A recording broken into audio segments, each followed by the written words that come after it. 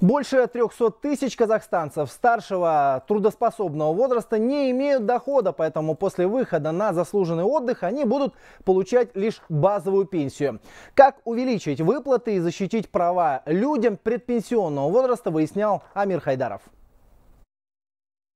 Из почти 9 миллионов работающих казахстанцев больше 700 тысяч достигли 55 лет и приближаются к предпенсионному возрасту. Официально он начинается за два года до выхода на заслуженный отдых. По словам юристов, именно в этот момент большинство пожилых граждан обращаются за правовыми консультациями, связанными с трудовыми отношениями. Обычно люди предпенсионного возраста к нам обращаются только когда уже э, пенсионный возраст наступает, и им нужно в трудовой книжке установить факт наличия трудового стажа. Э, э, люди пенсионного возраста, когда работали во времена СССР, некоторые документы были утрачены, и, следовательно, данный факт трудового стажа устанавливается судом.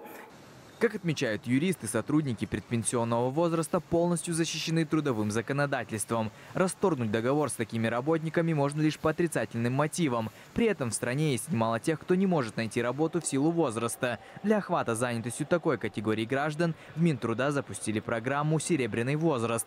В рамках инициативы пожилым казахстанцам помогают с трудоустройством и субсидируют зарплаты. Кроме того, они могут воспользоваться пенсионным аннуитетом и выйти на заслуженный отдых раньше установленного установленного срока.